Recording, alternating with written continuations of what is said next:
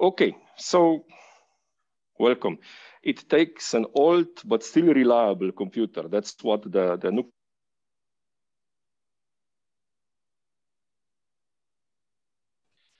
Leon, the second gener- Prekinja vas, Leon.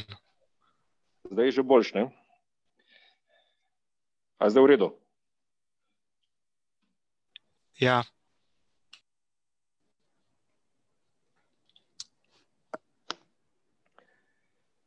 Uh, so the second generation of today's operating nuclear plants is closing to 40 years. It will be extended to 60 and maybe 80 years of life. So they will be old and reliable. Like my, my computer is old and reliable. Now, does reliable mean safe?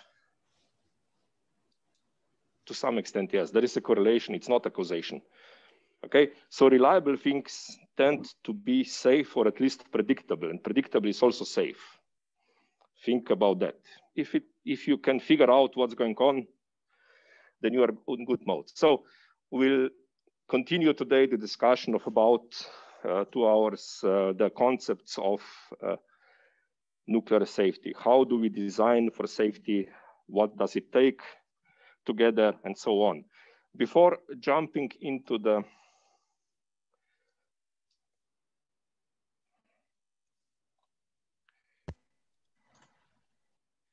uh, into the, the topics of nuclear safety, let's discuss the, the seminars for tomorrow.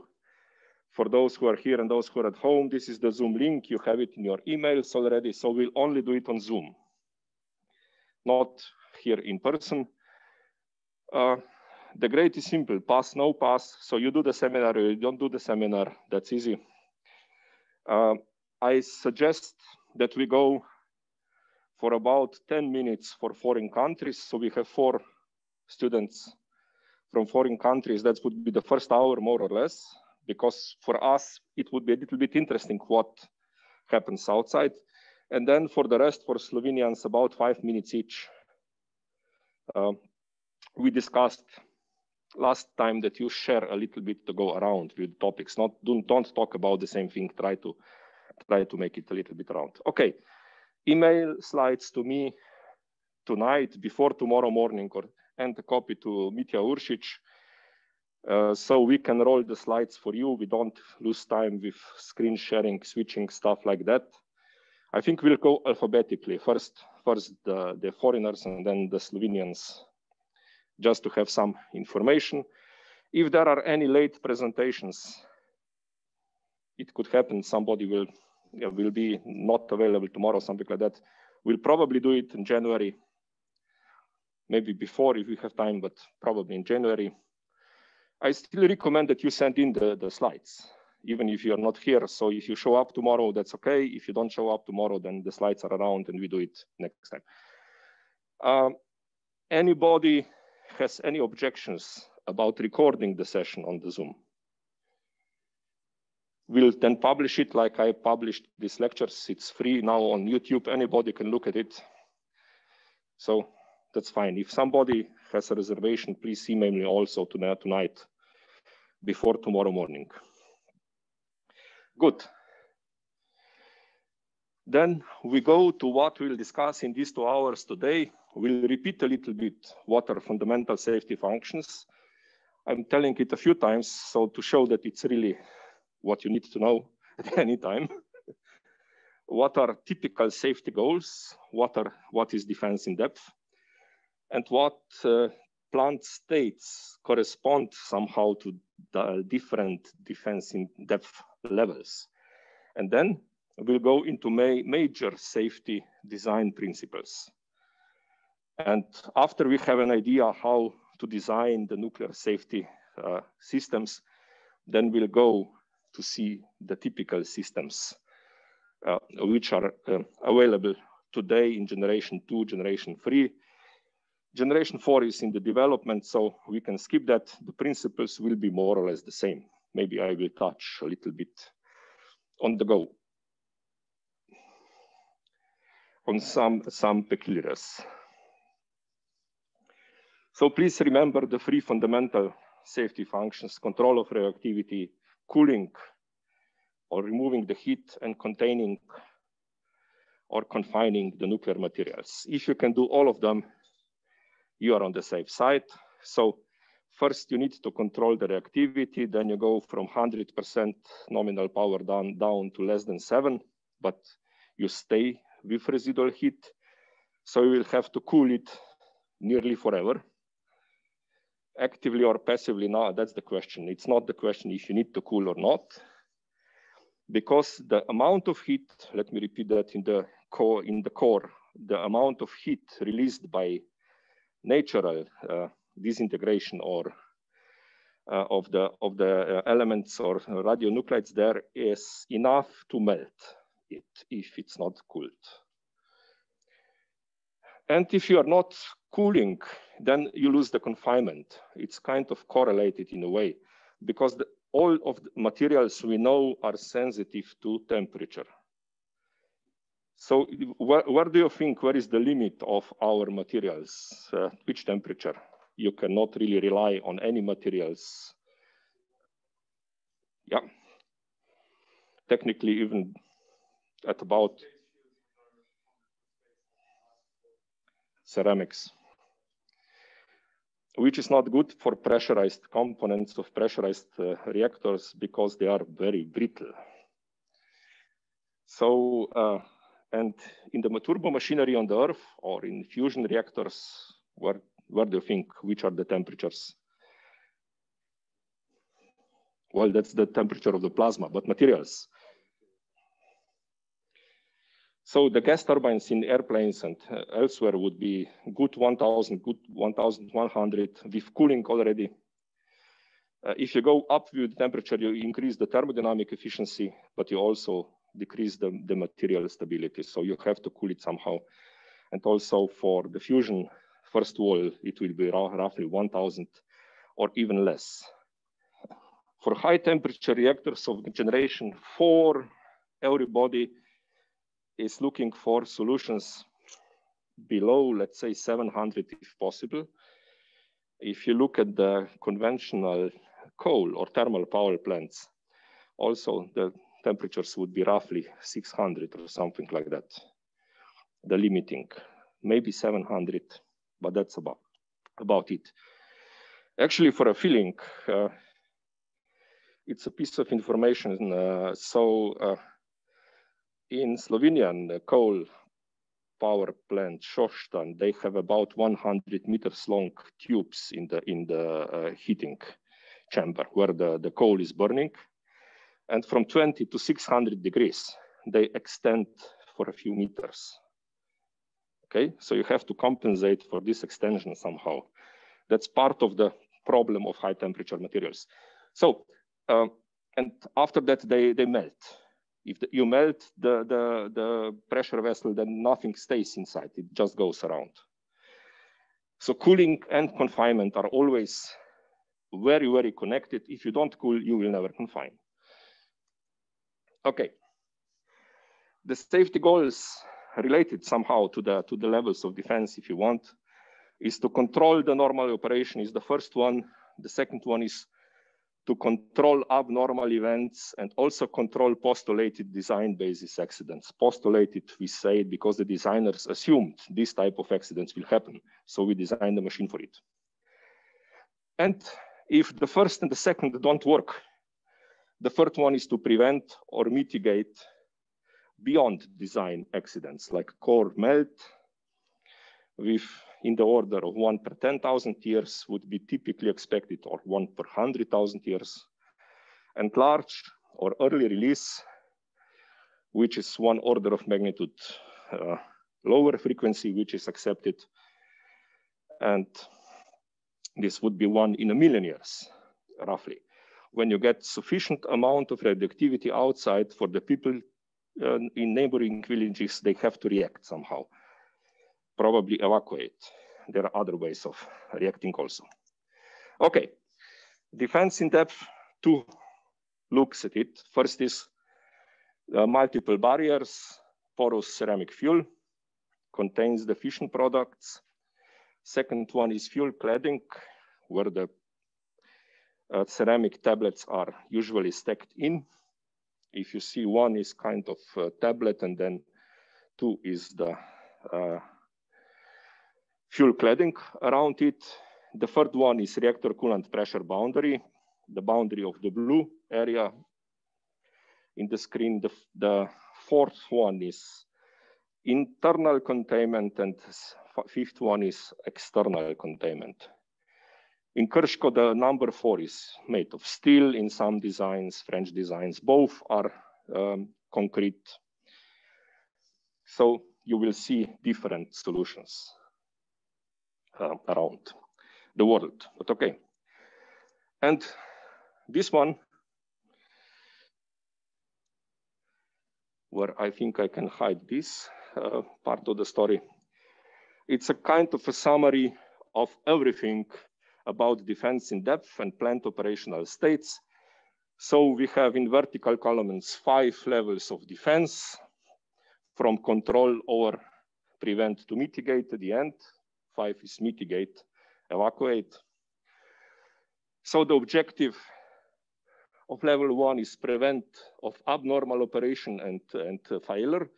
Of level two is control of abnormal operation and detection of failures.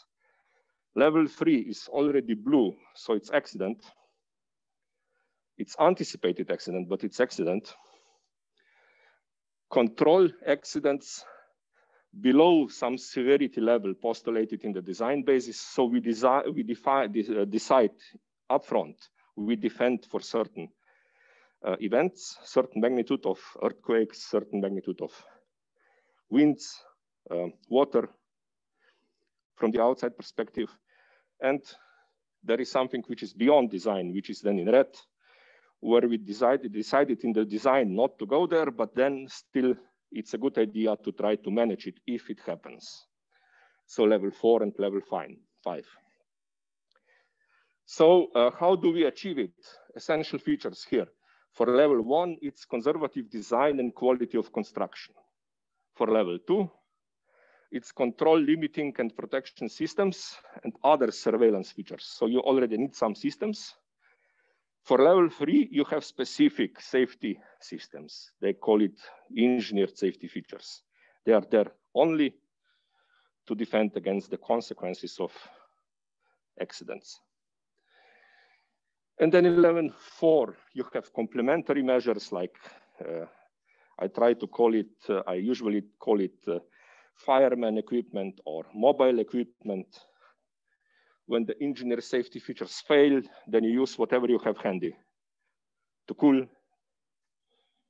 to contain. And the last one is offsite emergency measures, being uh, evacuation, stuff like that. Uh, what's still important is that there are procedures in the plant at the beginning, I said, uh, and then I need to repeat, is that safety is usually related to procedures. Operators have procedures. Pilots have checklists. It's there, prepared in advance, how you react to certain situation. There are two reasons for that. It's very difficult to remember everything, so it's good to have a step-by-step -step procedure. Do that, do this. Things don't get forgotten or something like that. So there are normal operating procedures which are used in the normal operation. You can imagine you play during the normal operation procedure like press button, increase, uh, increase flow there, decrease temperature here. Eventually you go out. There is nothing else you can do in the normal operating procedure, okay? It points, oh, now go to the emergency operating procedure. It's also a good signal to the operator, you're in trouble now. So now we are in situation which demands a little bit more. So they go into the emergency operating procedures and then they try to solve it. And if they are successful, it's okay. If they are not successful, they drop out to another set of procedures, which are sometimes called severe accident management guidelines or something like that. And uh, in this part, is you know, when you go out of emergency procedures, where the improvisation comes to the to the play to and creativity of solutions comes to play. Before it's procedures. Okay, it also has kind of related conditions of barrier barriers, which is uh, now in the red zone, uh, sorry, in the green zone, everything is okay. You can have certain small damage of fuel, of fuel uh, um, how did we call it? The tube of the fuel. It's the, sorry? Well, you can have tube rupture or a failure of the, of the tube, a circular tube, uh, up to, let's say, roughly 1% or something like that, which is still considered being inside the normal operation. But then if you have more severe fuel failure, you are already in trouble. And then there could be severe fuel damage. Severe fuel damage means either a lot of fuel uh, tube ruptured or already onset of melting. And then you get into reason, uh, into serious fuel melt at the end of the day, if you go towards the level five. This is kind of the uh, overview table. It calls the green one normal operation, the blue one, postulated accidents, postulated not, it means they didn't really happen. They were assumed in the design. Uh, some of them actually happened, but after they were assumed in the design and not completely in the same way. Okay, and then there is emergency. Emergency is when you go out of what is uh, meant, uh, mostly what is meant by the design. Okay, just let's try to relate the defense in depth levels with some frequencies, how often this should happen or could happen to you. So the mitigate, this is the, the level five, evacuation, one in a million years or something like that would be, would be a good idea. Uh, then, uh, then uh, uh for level four, which is control of severe plant conditions. So how to manage the, the, the, uh, the core melt or something like that, or prevent it or to manage it should be between 10 to minus 4, 10 to minus 6. Reactor year is the, is the unit here. And uh, for the rest, then for, for level three, which is control of accidents, of reasonably small accidents, from which you could recover the nuclear power plant usually would be between 1% and 10 to minus 4, and normal operation is about, it's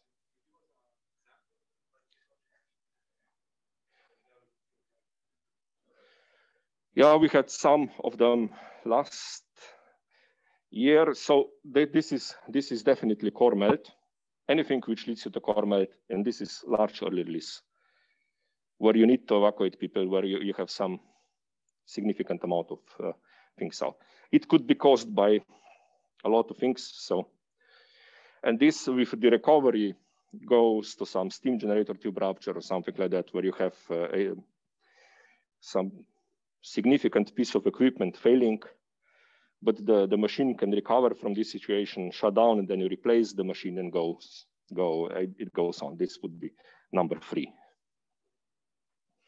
And four and five, that's it. It's done forever. You just have to clean up. Okay. Now, after this, uh, a little bit of repeating and short introduction from the last time, let's go to the major safety design principles. The first one is uh, your design should be resilient to a single failure. What does, what do you think this means?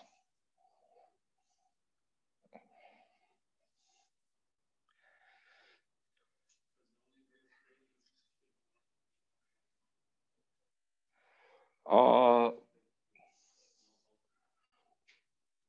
it's not enough to know how to control, as you say. It's actually the machine needs to have an option to continue normally with, with anything, one piece of equipment being broken. Okay, whatever fails, one thing, one system, one component, you can continue. Now, in a car, it's closer to you. Can you imagine a car which is able to drive on four on three wheels?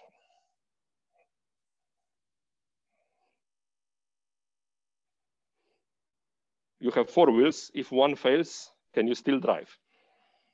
No.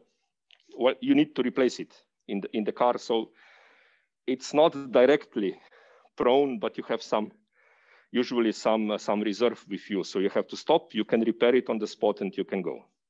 There was a car, a French car, Citroën, in the 60s and 70s. It was able to drive without one of the rear wheels. Okay? It was too expensive, so nobody is using that anymore. But there was a car able to do that. Not the front wheel, but yes, without one of the of the uh, rear wheels. Okay you can do that. Uh, now, if you would like to avoid single failure, probably a very good example are also power lines. Now I have to use the, you know that the big electric power lines, they usually run in a closed loop. If you look at Slovenian, uh, Slovenian uh, Uh, major power lines, then it's it's a free angle. It's not a does not go that way. Let me let me put it different. One is Maribor, another is Krško, the third one is Beričevo, which is very close to the reactor, uh, to the TRIGA reactor.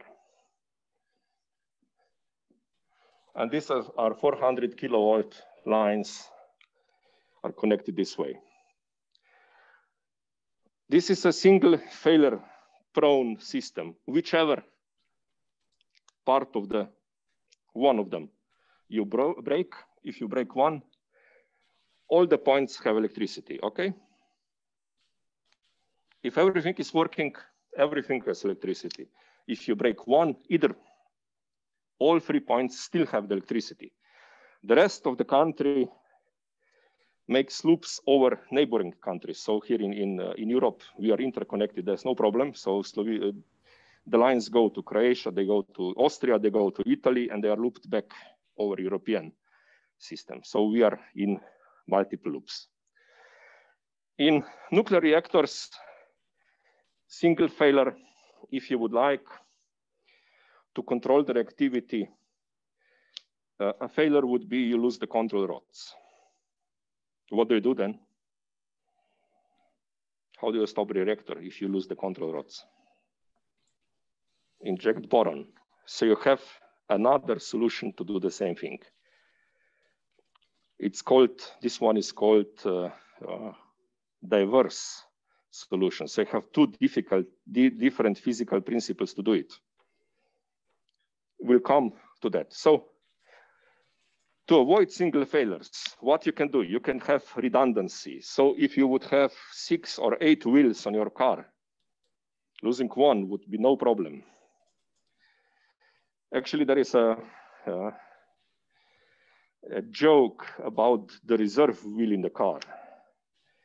How many reserve, well, you have one reserve uh, wheel in your car usually. For how many wheels it can be used?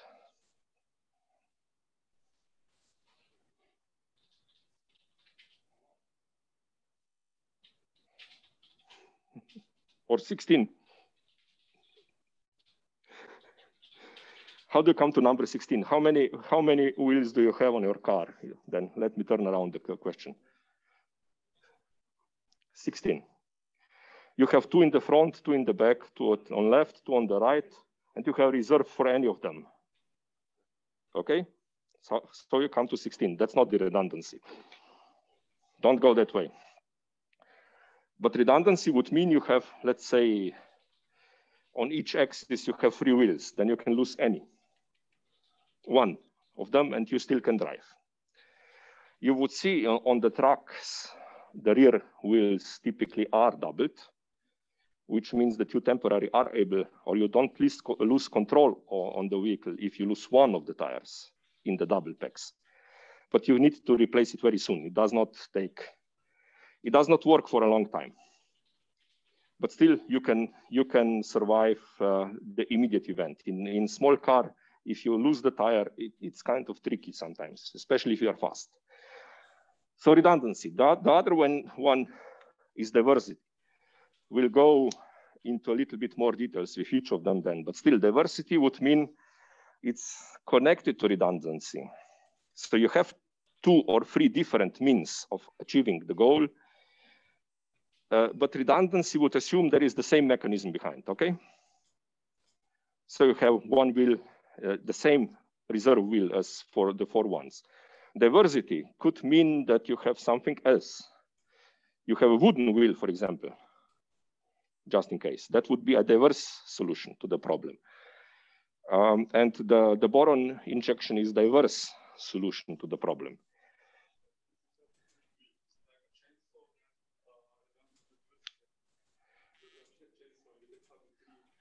Uh, yes, the chainsaw then helps you to, to develop redundant uh, solution, a diverse solution on the spot. But you need to know how to operate it. And now cutting off your leg would not be a solution to the problem, okay? or even cutting off the wheel from the car, it's also not a solution because you cannot drive on free. Independence. Huh. What would an independence be? Any guesses?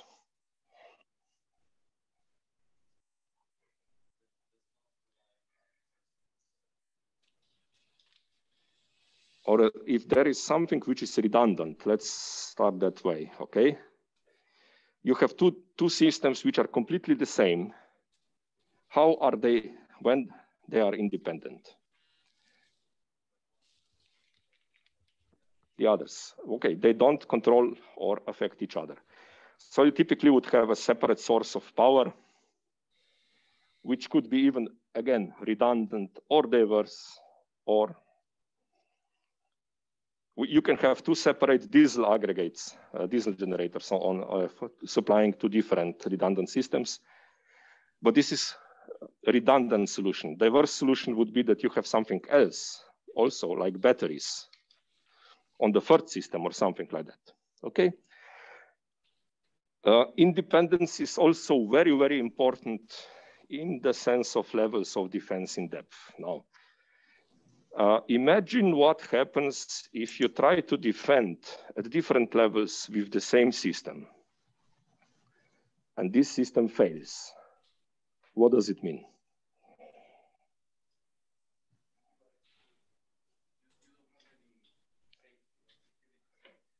There is, well, there is no safety and security system. And also you lost all three levels or all four levels in the same, in the single failure. That's violation of the first rule. You cannot afford that. It, it cannot happen. If you remember the Swiss cheese model of, uh, def of uh, defense in depth, so if you would align all, all the holes in all the cheese slices in the same place, then it's very easy to tunnel through and you have a failure, you don't have defense in depth in this case. Physical separation. That's famous wording for COVID. What do you gain with physical separation? The, the safety, COVID-19 safety is based on physical separation.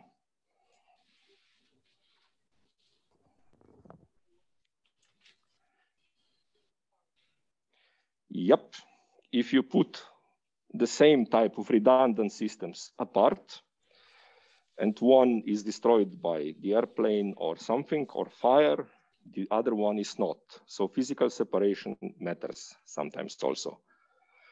Fire is typically the, the drill. Uh, now, maybe uh, uh, another infrastructure part of the story. So like uh, safety or resilience requirements are here also for the for the railway networks, for the highway networks, for uh, for uh, uh networks of uh, power lines, for IT networks. But if you look in, in the in the nature, you will see that at some points the electric line, the highway, and the railway line connect or go through the same spot. What do you need to do if you would like to kick out all three of them? You just have to touch this spot. That's it. You kill the highway, you kill the electric line, and you kill the, the railway. So uh, this is also physical separation, and sometimes it's impossible to make it, okay?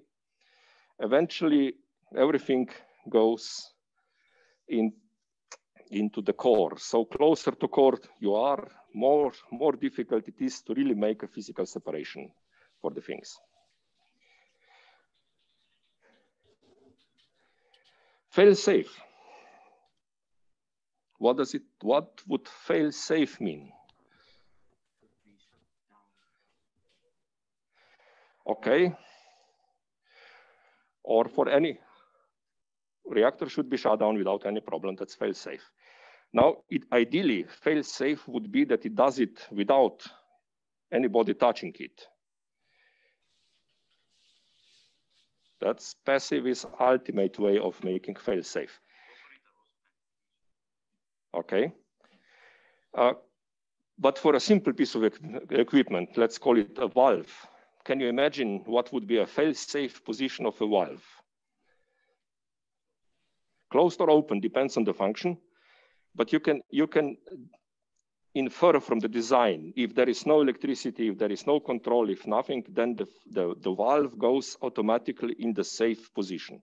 So the control rods go automatically in the safe, safe position if there is no electricity. What do they do?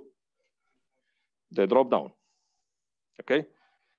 So the system is designed in a way, if there is no electricity, reactor shuts down.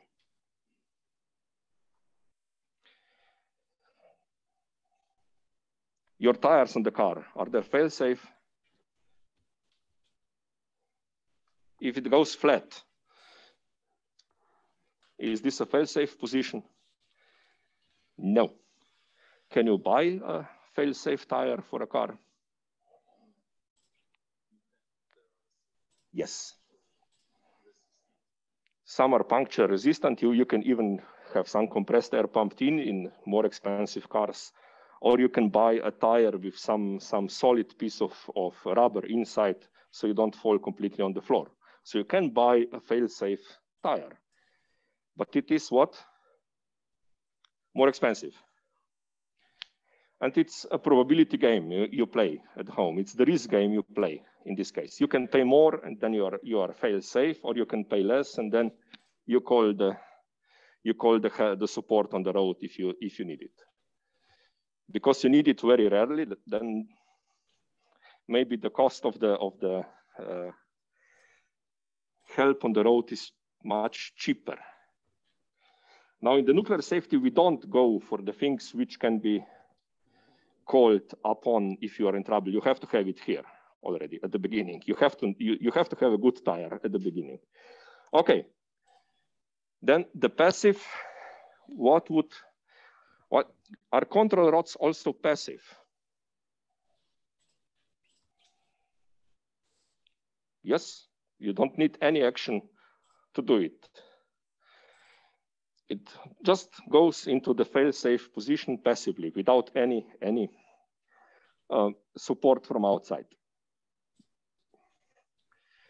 But usually when we talk about passive systems today, uh, we think about cooling uh, the, the reactor by passive systems. What would be cooling by passive systems? Natural circulation. Do you think there is a, uh, a lot of examples in technology? Not in technology, that there is, a, uh, do we have natural cooling or natural uh, circulation heating somewhere for you, you are coming from hot countries. So you don't have a central heating usually installed in your, in your homes. Is that true? So here we have everywhere, it's central heating. And central heating, when I was a kid, the first central heating systems were without the pumps.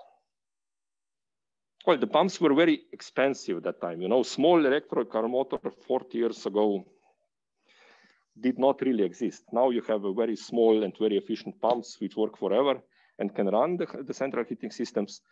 In my uh, childhood, they were designed with a little bit uh, um, with larger pipes. And in the usual house, you, you have some 10 meters of the height difference and some 10 meters of height difference, it already starts to, to run the, the um, natural circulation. So you had to, to have a boiler to heat the water and the water would start to circle around the house without a pump. That was the good news. So you could save a very small amount on electricity, by the way, because these pumps are not very, very uh, uh, energetically difficult.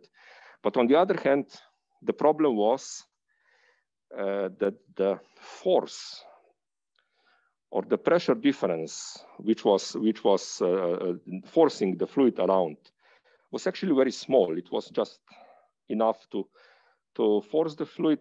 So you had to have some, let's say, special techniques to get the water to each of the radiators. It was not very easy. If there was a little bit more resistant line by the Ohm's law, nothing came there. Now with the pumps, it goes.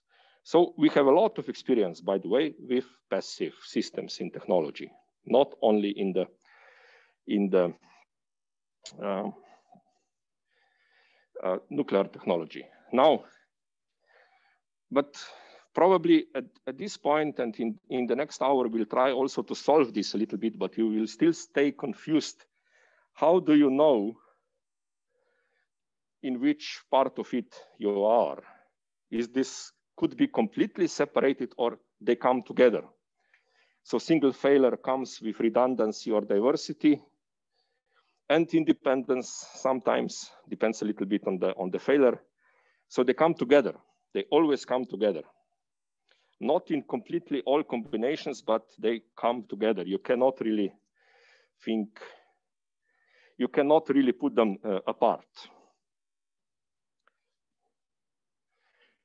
Now, let's try to find some, still a few, a few uh, cases in real life of things which are diverse, redundant.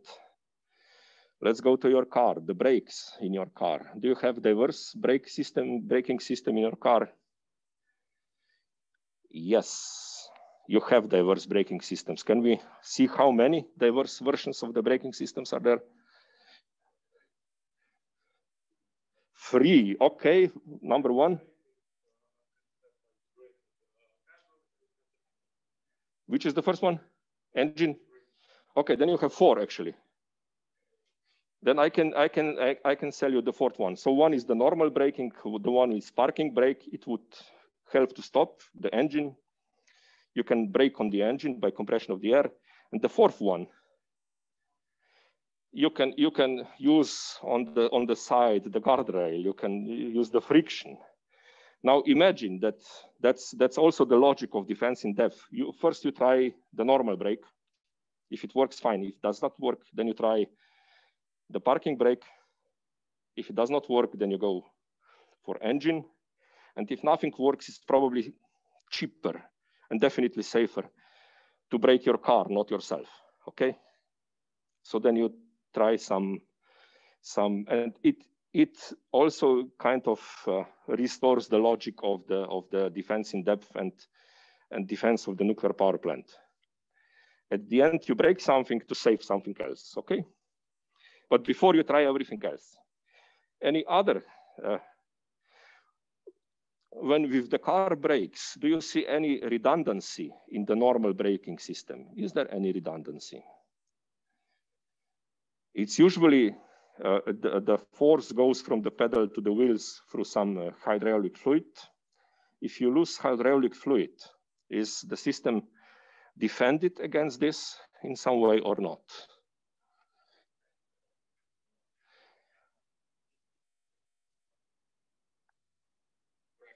If you can break and it's hard, then you you lost the the the power uh, power pump or power uh, support for the braking, that's okay. That's fail-safe position, you can still brake. Uh, no, uh, you have that, sorry? Well, okay, but it could be also electric. But it's usually handbrake is, is, is diverse. It's done on different way. But it's finally not independent because the friction part really doing the brake is the same. It's just other way to influence it. Now, um, if you have a car here and four wheels, the hydraulic braking system, uh, braking system actually goes in this way. There is a common reservoir of fluid, but you can lose only half of it. Okay? If the, the piping is broken, then you're usually losing one diagonal. The other one stays in power. That's the additional redundancy or some redundancy in the system. Then you have one half of the system working.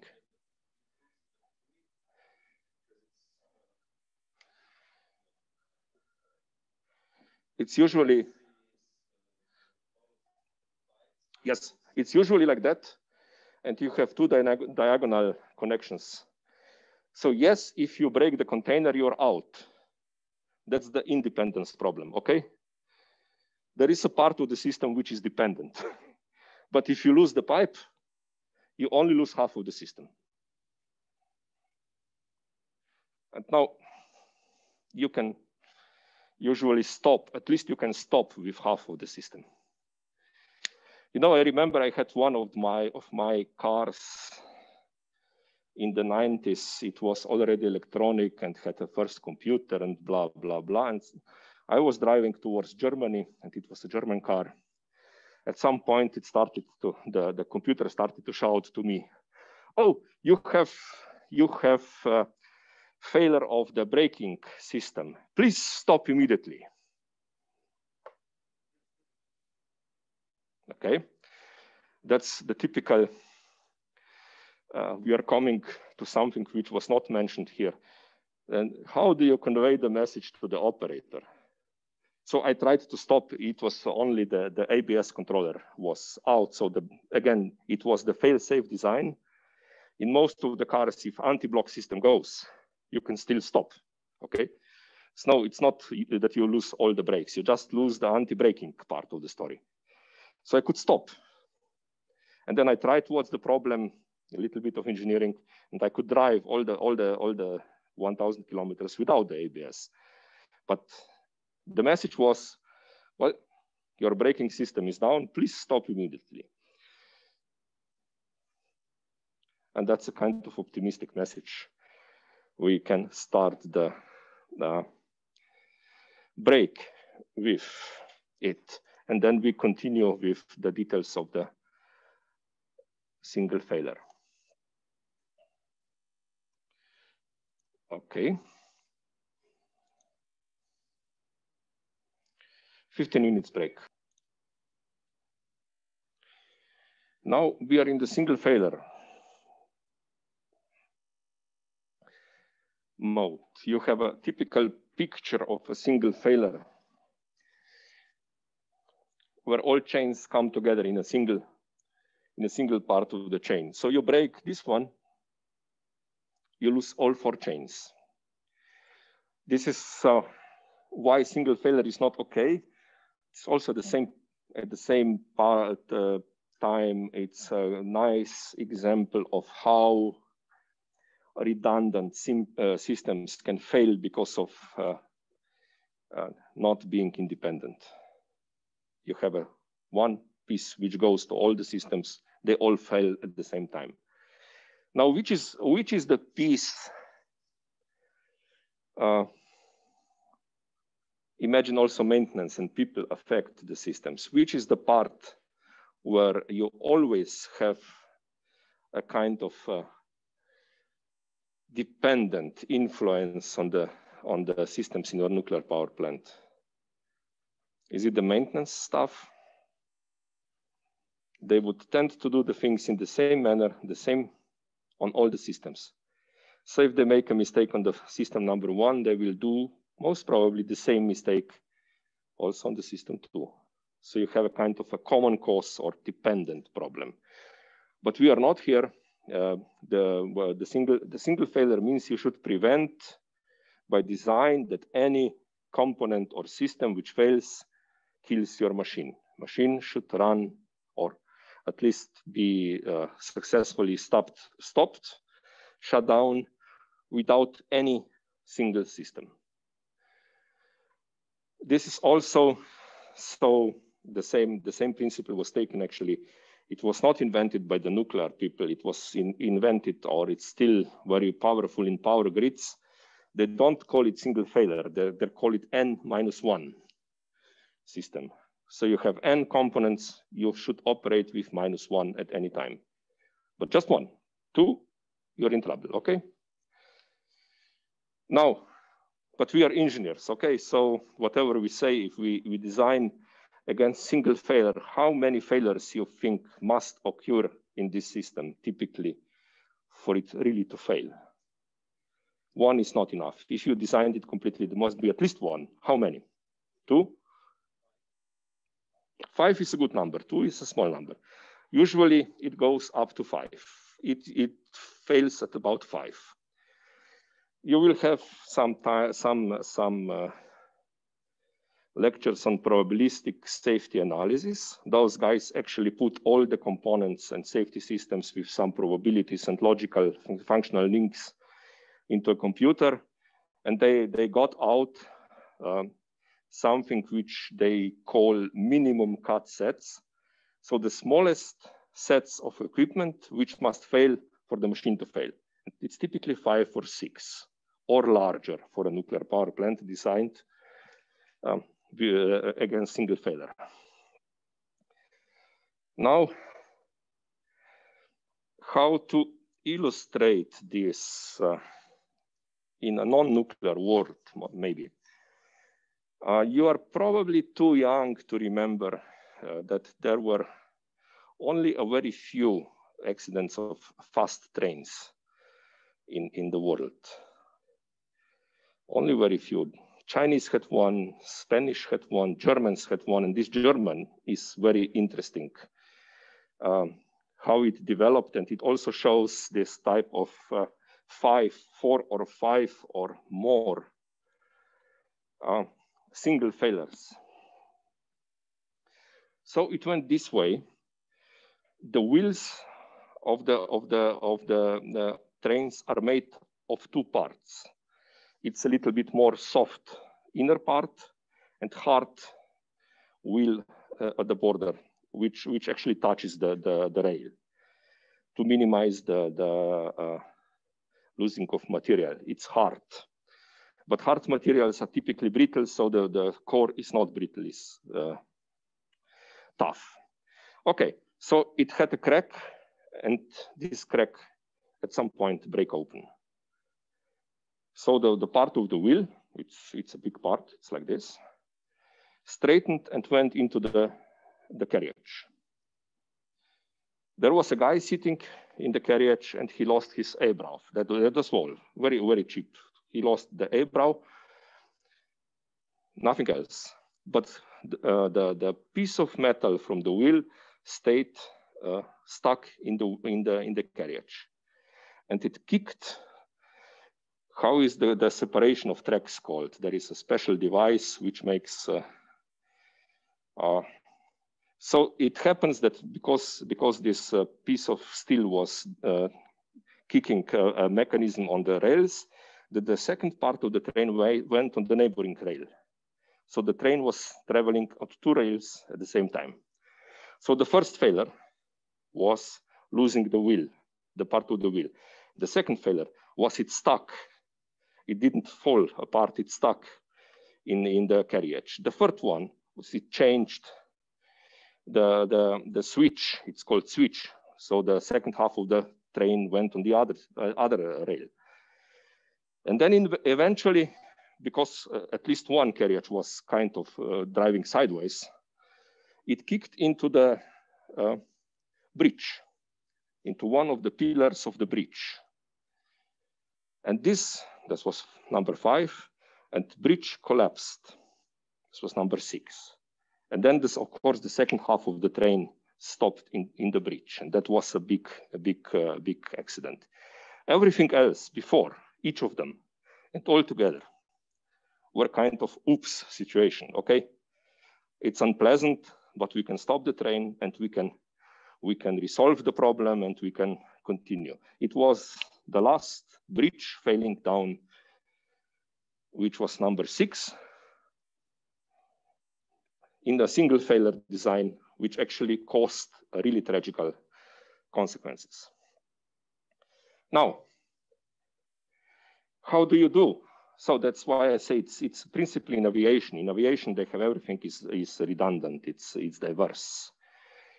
Uh, do do you remember? Well, the typical aviation problem is losing. If you lose the engines, then you have to glide. But that's not the most dangerous thing at the moment. You also lose all the electricity in in this. Uh, now, do you know what are alternative ways of getting electricity? to get the instruments and to get some of the of the hydraulic control of the flight surfaces. Yeah, you can't, you lose the motors. Yes, the, the ultimate one is small wind turbine which flops down and then it's a propeller rolling on the on the airflow. But there is an intermediate one, all of them have it, and the guy uh, landing on the Hudson River he actually switched on the emergency power supply without a procedure. Procedure didn't ask him to switch on the power supply when he loses the, the, um, the both engines, and he did it. So he could, he was able to use all the instruments and all the support of the airplane until the end. It's a, a wrong procedure. It so, sometimes happens. Okay, uh, information technology has the same type of thinking. Internet is, is this type of networks. So it doesn't matter which way it goes. As long as there is any way, it will find it and it will go through. Okay. Now, if we want to have single failure design, design then we have to go to uh, combinations of redundancy, diversity, independence, physical separation, fail-safe, and also passive. Uh, well, passive per se is not a single failure uh, feature, uh, but it's a good way to do it. You see, this is a very simple solution to a single failure. Okay, you see it, you can imagine what, why this is a good solution for a single failure.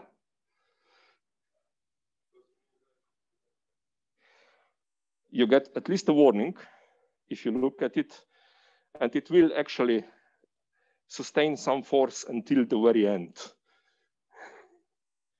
The other one, this one, when it breaks, you lose it. Uh, so this is this is how, uh, uh, like in in the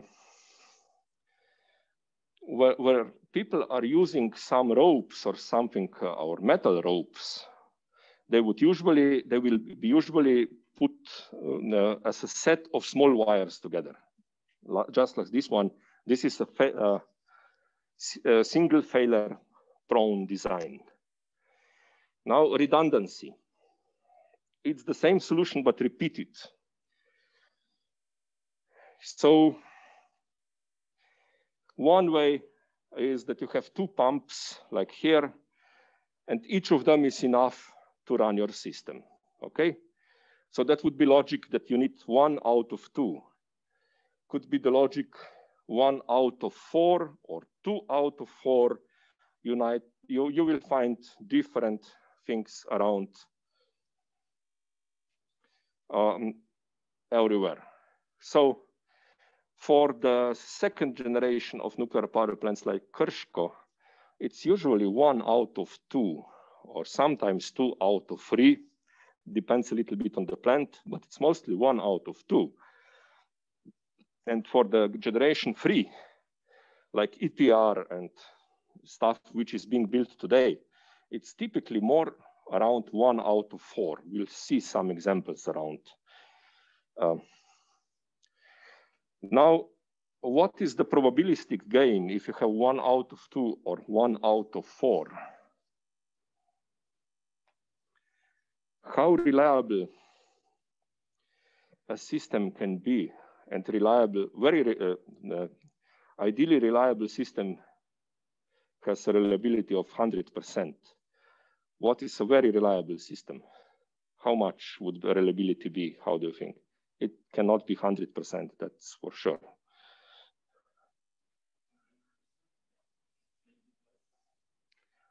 Uh, 95 is a good measure for diesel generators. 95, yeah, they say for diesel generators, 95 is nearly perfect. Now for some electronic systems, you would hear four nines or five nines, 99.99 or 90.999.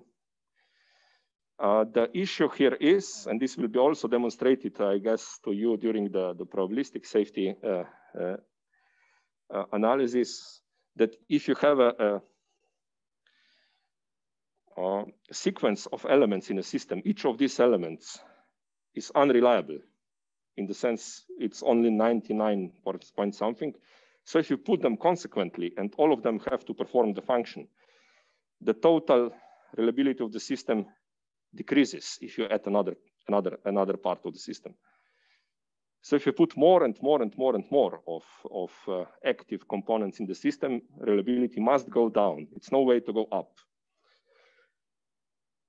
Except redundancy, which is a parallel. It's not consecutive uh, connection, it's parallel. But then, so if this is, if the probability is uh, that it will work, each of them is 99 and you need one of two, 99%, you need one of two or one out of four. What is your gain in the total probability if they are really independent?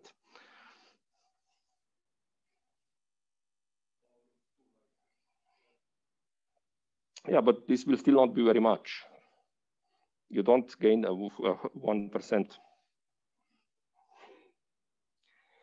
so the one out of four is there, it's expensive, and it is not really bringing a lot directly, but it is bringing a lot indirectly through physical separation and independence and stuff like that.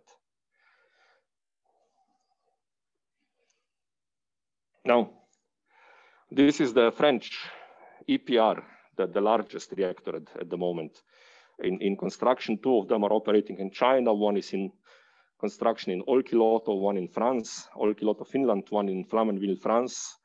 What they say is they have four redundancy on the main safety systems, four train redundancy, and each of them is in a different colored building. So it's separation, it's redundancy, it's also in some sense, independence because they have uh, different diesel generators for them. And you see two ultimate containment heat removal systems, uh, redundant, and on the other side of the building, which is physical separation. So it turns out that if you crash the airplane on this reactor, you cannot destroy all of them. Okay, this is the physical separation. You put it in, in such a in such a position that you cannot destroy all of them with one aircraft, of course, with two or three. So there is no 100% safety. That's what I'm telling you. You cannot invest more money and be more safe. Well, to some extent, you can invest more money and be more safe, but you cannot invest, invest enough money to be fully safe. This is another example. This is the also from EPR, uh, auxiliary feed water. This is the feed water feed water is coming to the steam generator. So when you need the feed water uh, for the cooling, this assumes that the primary system is in the natural circulation mode. So the heat goes from the uh, from the core to the steam generators, but then you need to put to to chill the steam generators in a way. So it has redundancy of four. Each of those systems has its own pool or uh, some, some uh, quantity of water available. Each of them has a pump and a direct line into, into the steam generator. What is an additional feature here? Look, these are connections of the lines. And one is before the pump, one is behind the pump. which helps you to connect any of the pools with any of the pumps. So this is how you get uh, some additional reliability of the system. You don't really need the entire train to work, but you need to work one pump to be working. You need one storage to be working, and then you can connect each of them. And with a little bit of luck, it doesn't matter which steam generator you chill. You just need to chill one of them, okay? But if all of them are working, no problem. Usually, uh, these, these four, four redundant systems are designed in generation four that they will take, one of them will take the load. And this is for EPR. Yeah.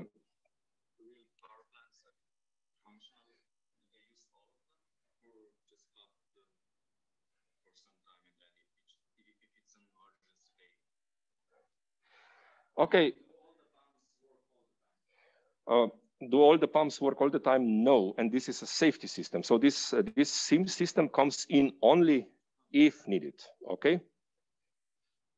That's uh, the purpose. Most of the time, it's uh, not actually operating. Uh, this puts a little bit of another, another interesting feature. Now, let's go. It's like um, reserve wheel in your car.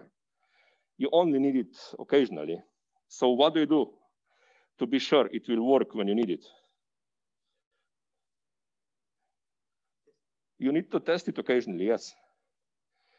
If you stop and you take an empty reserve wheel out of the uh, your car, then you are done.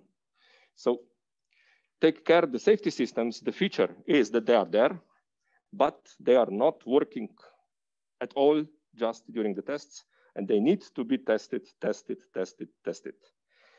Actually, there are usually requirements that they have to pass the test. If they don't pass the test, they must be repaired until they pass the test. And there is also some rule uh, in the aviation, they call it minimum configuration. And in nuclear power plants, there is also a kind of a minimum configuration rule in the technical specification. That's one of the documents you will also learn a little bit about at the end of the course. So if not enough equipment, safety equipment is available, proven by the tests, you cannot start the plant or you have to shut down the plant. You have to have not all, but enough safety systems. The pilots call it minimum configuration. The nuclears, they don't really call it minimum configuration, but I like the, the, the, uh, the wording because it's essentially tells you uh, what you need to know. You can't really, well, imagine you can't drive really your car without gasoline. That's the minimum configuration uh, question. You can do it without a license. That's theoretically possible. It's illegal, but it's possible. But without gasoline, it doesn't work. If it's not electric car, then it does. Diversity. So he, here we approach the same function with different means. Why do we like diversity?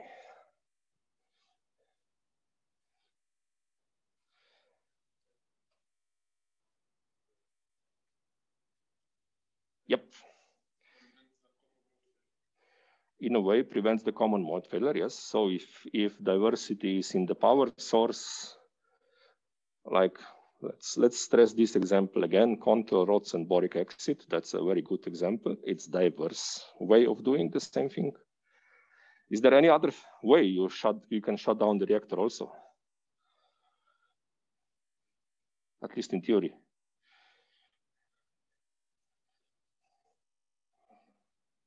Yeah, you don't have control rods, you don't have boric acid. What do you do?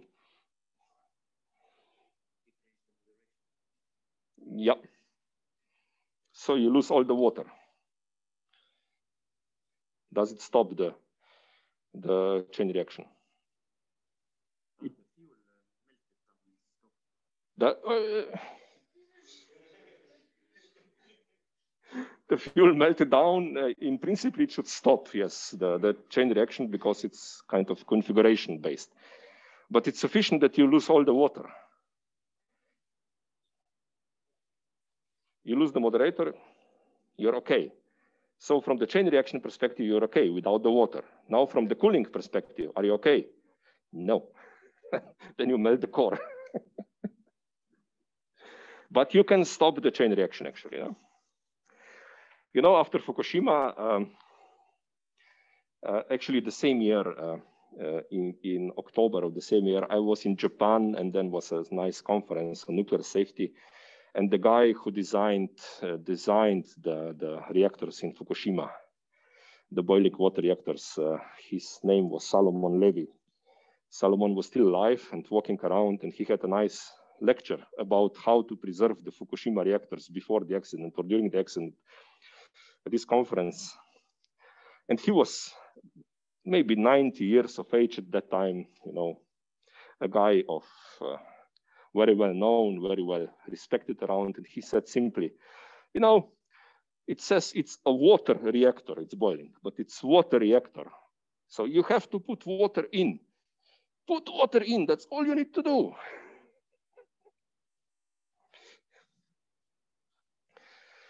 Doesn't matter which way. That's why the diversity. Just get the water in. Could be salty water. Yes, water. Put the water in. Okay. Another expect uh, diversity is electricity. You need electricity that's for control, for information. Um, one of the issues in Fukushima was they didn't see the instruments. They didn't have information about what's going on in the plant. You lose everything, you know, without electricity. So uh, it's the only old-fashioned shouting, hey, the, the, the network of uh, mobile phones was down, everything. So communication is really, really, really difficult. So you need electricity. How do you have it? In, in Krško, for example, in Slovenia nuclear plant, you have power grids, many of them. We said Krško. It's actually, I think, four lines to Maribor. There are four lines to Zagreb. There are four lines to Ljubljana, to Beričevo. So it's already eight, uh, what, 12 lines. Each of 400 kilovolt line is capable of taking roughly one gigawatt of electricity. So each of them is more than enough for Krško nuclear power plant, okay? So it's eight time redundancy on the power lines. And then this is 400 kilo, then it's 110 kilovolt. I think there are about 10 to 12 connected to the to the uh, uh, nuclear power plant. And this is taking roughly 300 megawatts of electricity. So it's good to, to get the 40 in, the safety 40 or needed 40 in. For safety features in such a plant, you need about four megawatts. So 40 for full operation to start and it will give you 700. Uh, so it's more than 20 times redundancy there. Of course, this works until the entire system falls apart. That's the independence uh, problem. Then there is a possibility to connect a gas, gas uh, uh, thermal power plant nearby, about five, six kilometers away, Brestanica, with a direct line. And there are maybe three or four possibilities for this connection, direct connection. If this doesn't work, they have diesel generators, two safety, another one nearly safety, and there are many mobile in the plant. So you take a two a megawatt uh, diesel generator, you bring it there. And there are batteries for four or eight hours, depending on the function. So this is usually sufficient to survive at least this connection to be established, okay? This is diversity in the source of electricity, but it's still electricity and electricity can be problem of independence on the system. So if you don't have electricity, uh, it's a little bit different. Now, uh, a diverse feed water, auxiliary or emergency feed water system. So again, the assumption here is that the primary system is in the, in the natural circulation. You have to chill down the steam generator on the secondary side.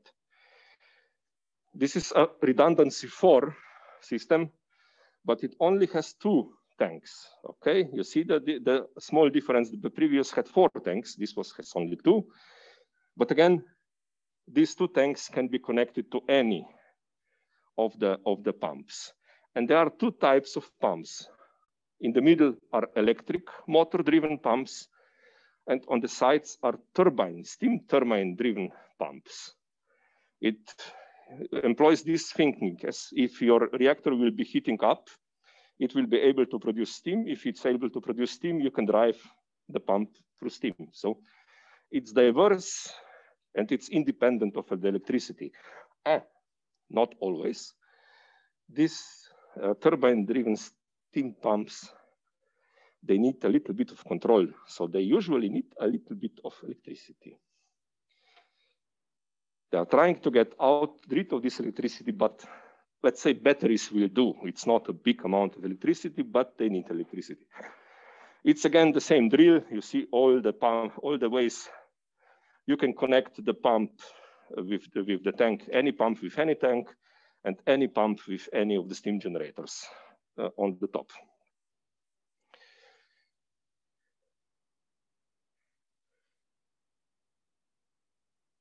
There is another feature. If you look, these butterflies are valves, okay? You will see that every valve is in two. There are two valves at each place. Here are two, this one and this one are two. Functionally, there are always two valves. Why are there always two valves?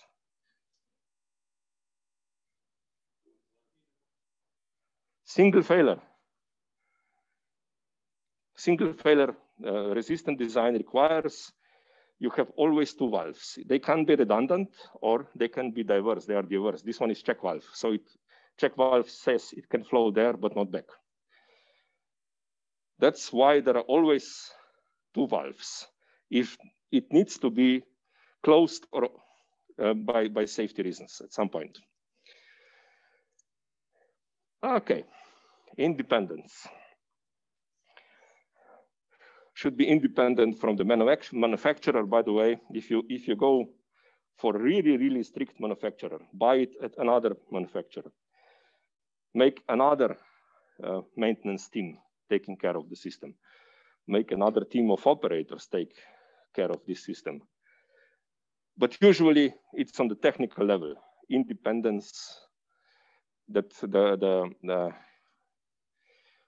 we saw that there, there were connections between different lines before. So you could connect any, any reservoir of water with any of the pumps.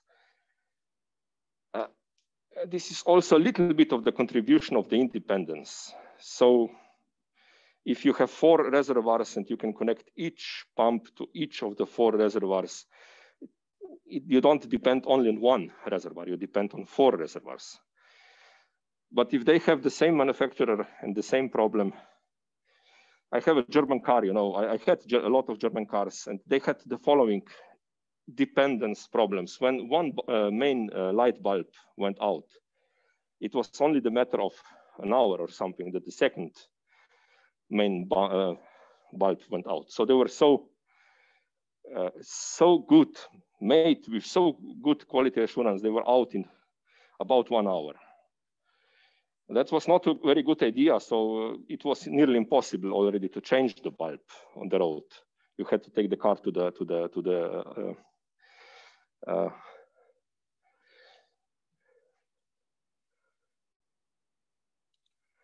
to to the uh, shop to do it. So losing one bulb during the night was a nightmare then because the second followed. That's the dependence and independence problem.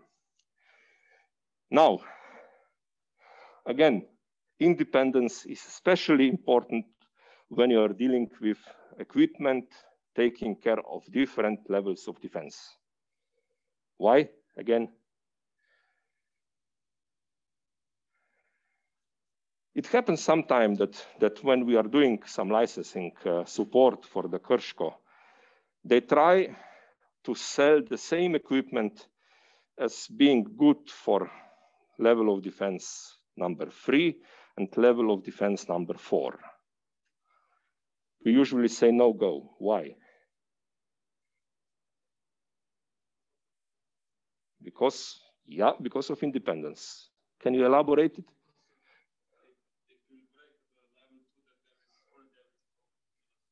Yes. If the, the equipment is broken, you lose both levels at the same time. So there is no defense in depth in such a case.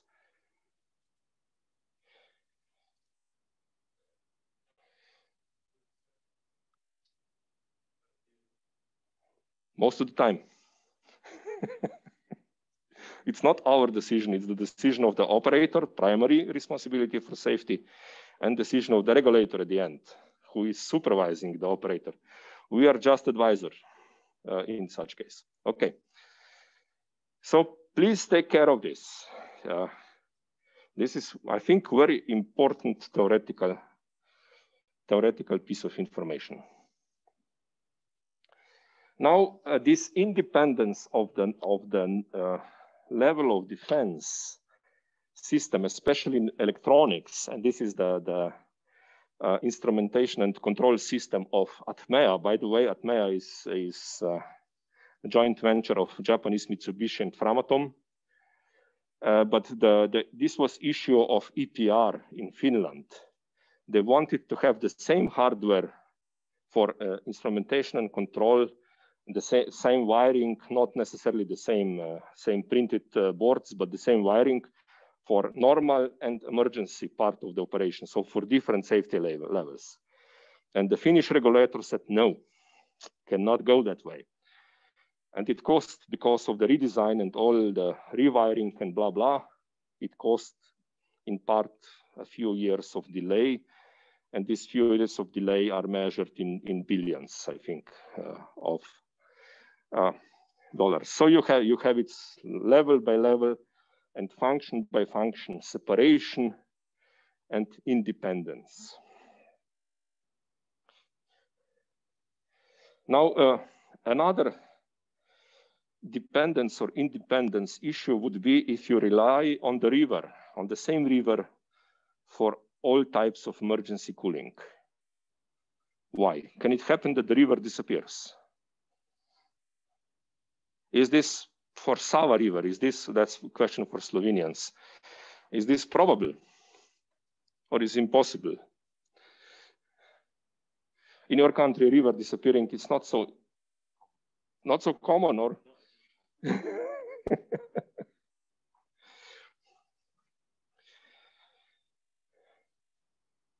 Well, it's not completely improbable. It happened not to Sava, it happened to Savinja, just downstream of uh, Rimske Toplice, that's for Slovenes.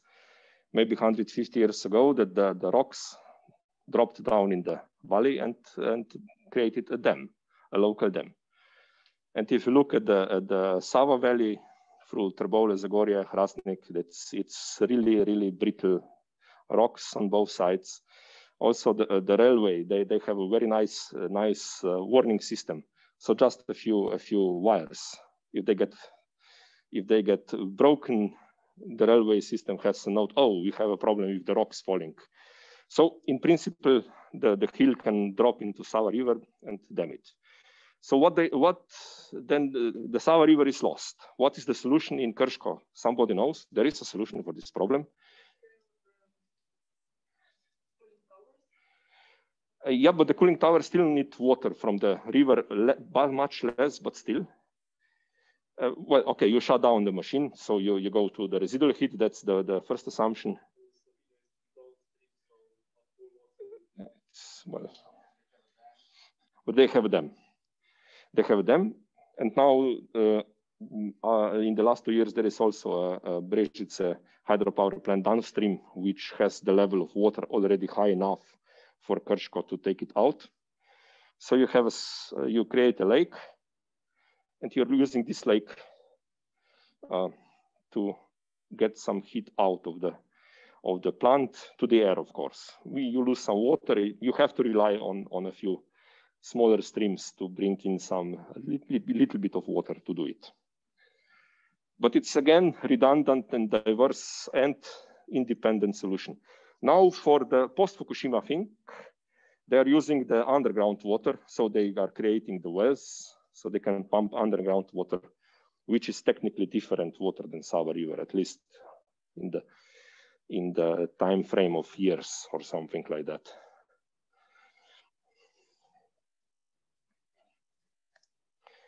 Physical separation. We already mentioned the EPR, EPR, that's EPR, the French design. You have four different buildings for the for the housing of of safety trains, uh, safety uh, trains pumping in the safety injection water, and this is huge, by the way. I think the the diameter is uh, in the order of 100 meters or something like that, and the the height of the containment is also 70, 80 something. So it's huge and you can not really destroy all of them at the same time from the outside event. It's not very easy to do it. That's the meaning of physical separation. The second one is, so let me repeat the fire. You don't want to put the, the uh, piping or cables of two redundant system in the same room because of fire. Then you have to put some fire barrier in between or something like that. And this is another approach to emergency feed water. It's not really, uh, it, it relies on free, uh, free uh, redundancy of free and his free pools with offsite filling. You see each of them has some additional way of, of getting water in.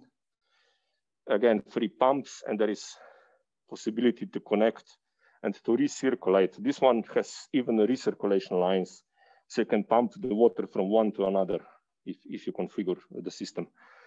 Um, it's usually uh, even a little bit more complex uh, than that in real life, but this is the, the, the, schematics. And you can get into each of the steam generators again through any combination of the uh, source and the pump and steam generator. And you can still see double, double uh, valves, at least double valves everywhere, okay? fail safe. You lose the electricity, it must go into safe position. Now there is a bunch of valves called uh, insulation valves. So the containment, uh, you have a lot of pipes uh, going through the containment. And if you would like to prevent anything going out of the containment, you need to close it. And then you close all the pipes um, which are going through the containment except those you need for the safety systems. This you have to open. Okay, so there is a set of pipes you need to close. For those, the valves fail-safe position is closed. And then it's a set of pipes you would need to open, like safety systems. So the water can go in. For those, the, the fail-safe position of the valves is open. It's functional requirement. And ultimately, fail-safe is a passive system. Now, let's talk a little bit of the passive systems. They are not really uh, a solution for every problem you have. No, unfortunately not. In principle, they, they are driven without external power by natural forces.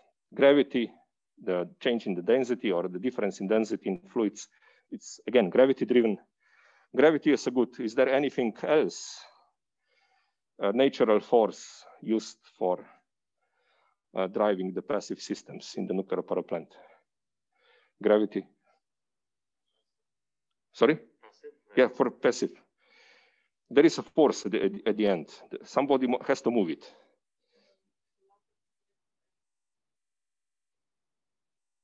Say it louder.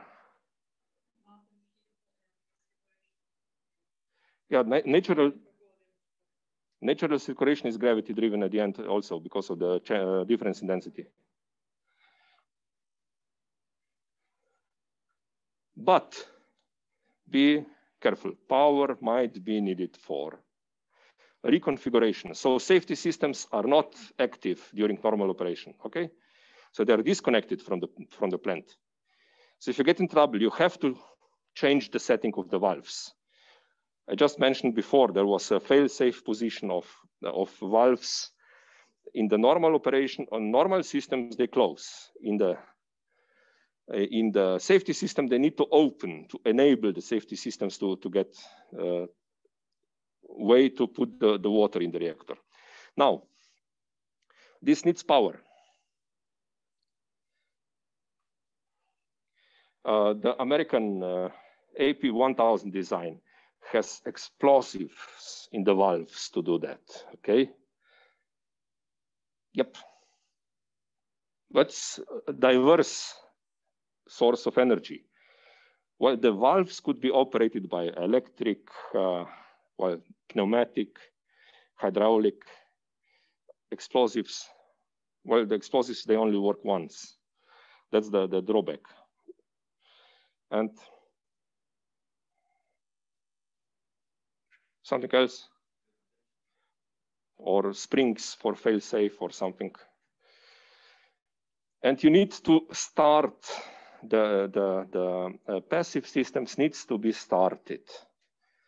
The issue is that the, the, the forces of natural circulations are very small compared to pumps and stuff like that. They, they are sufficient to get the heat out, but they need, the, the, the circulation needs to start. Not always easy and not always straightforward, okay? So you need some, one of the Westinghouse guys, when the AP1000 came out, was funny. He said, well, you know, we have passive systems and we have some issues with the activation of passive systems. Remember this one, we still have issues with the activation of passive systems. By the way, were passive systems available in generation two?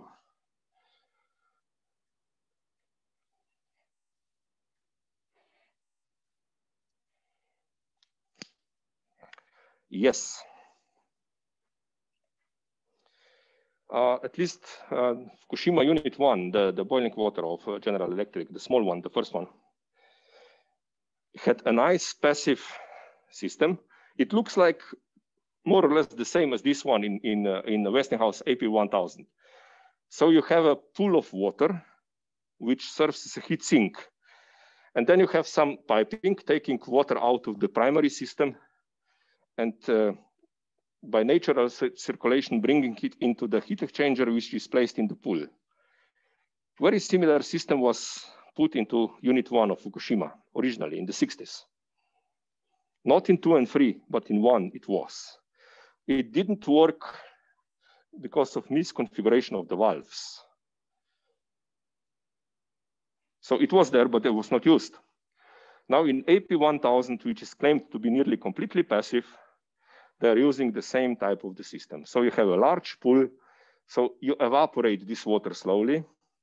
You know that the, the, the uh, latent heat of uh, evaporation of water is very large. So you can, you can dissipate a lot of energy through evaporating the water. Two megajoules roughly per kilogram. So a lot. And there is a lot of other uh, passive systems like accumulators. Accumulators are pre-pressured, pre-pressurized nitrogen is inside. And when the pressure, that's also semi-passive actuation. When the pressure in the, the primary system is uh, low enough, the accumulator will start pushing the fluid, fluid in. This is an easy one. Again, this one, recirculation, uh, re uh, recirculation of water into some, some uh, uh heat exchanger in the pool needs to be needs to be uh, reconfigured. You have to open the valves, and then the process has to start. Also, you see that uh, in this Westinghouse design, the depressurization valves, which take over the the uh, is again dissipating the heat from the primary system by letting the, the high pressure steam out but it's taken into the, the pool, into the sparger, and it's condensed and chilled there. So the water is always coming here. That's how, how the, the pool is always full of the water. We need to go just a little bit into the typical safety systems in the nuclear power plant. This is generation two, the old one, like Krško. So typically we'll have control rods, number one. Second one is high pressure and low pressure safety injection. Number two, take care the generation two has the storage of this water with boron outside. Uh, one of the issues with the outside water is that boron starts uh, starts to to crystallize at low temperatures. So this must be heated outside. This water is actually heated slightly, and the pipelines are also heated, not to get the boron crystals uh, in in way of of uh, flow or in not enough boron have, uh, having enough boron in the in the reactor. Then there is there are uh, accumulators for emergency core cooling. So we have control rods for reactivity control. We have systems for core cooling. Core cooling is primary issue. And then we have auxiliary feed water system coming into the steam generators. We looked into a few of them because they are nicely redundant and diverse uh, before, where you rely on the natural circulation in the, in the primary system. Now, do you have an idea how tall um, the steam generators are, or in other way, other uh, way of putting the question, what is the height difference which is pushing the natural circulation of the water in the primary system?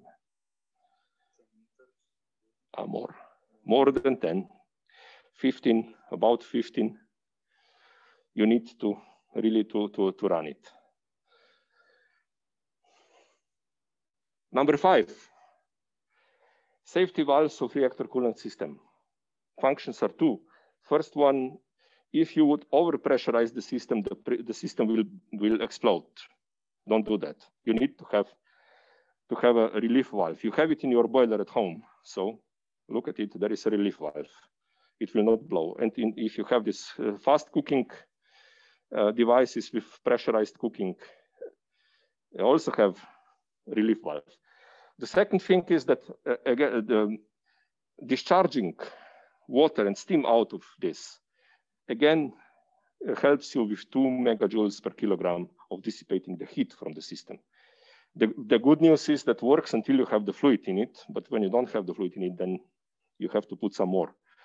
Usually, you know, the, the containment is designed in the way that, uh, that all this water going out by breaks or whatever will collect finally at the bottom and you can recycle it. That's uh, another feature.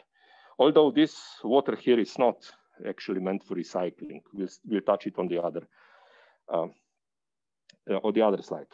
Containment sprays to chill the containment, to condense the steam if you get, this makes a lot of steam in the containment. Containment is designed to take the entire primary system of, uh, of water turned into steam. The volume factor is about three orders of magnitude, by the way. So from one liter of water, you get 1,000 liters of steam. It's designed to do it, but still you have sprays to condense and chill the steam. And it will again be here, come here, and then it can be reused. And seven is the outside refueling water storage tank with boron exit. We touched this one before. Uh, Post-Fukushima improvements are related to design extension conditions or DECs. We have two types of systems. Uh, one is to prevent core melt. This is wet cavity. Actually, we collect water below the, the uh, pressure vessel, hopefully to reach the pressure vessel and to chill it from the outside. So if the core melts, it will finally relocate down in the bottom of the, of the pressure vessel. And if you can chill it from the outside, it will stay in. That's the theory. It's called in-vessel retention approach. Ivo Kljenak will take you through this a little bit more. The other one is EPR, ex-vessel. You drop it and you chill it outside. Uh, and then another one is additional safety injection, yet redundant, diverse way of putting water into the primary system. And the third one is filtered containment venting. So it's a kind of pressure relief valve for the containment with the filters, taking iodine and cesium and the volatile species in. I leave you then for the homework to figure out what's much different now in the EPR, except that this boron water tank is moved inside of the containment. So it's protected also from the, from the airplane crash or outside events. And in the passive AP1000. In the summary, we discussed today single failure, redundancy, diversity, independence, physical separation, fail-safe and passive systems. And please don't forget that there is mostly a combination of them in place all the time. Thank you very much. Any emergency or immediate questions, urgent questions, I like to say urgent questions. Good. So see you on Zoom tomorrow, 12 and a few minutes, 12.15. Thank you.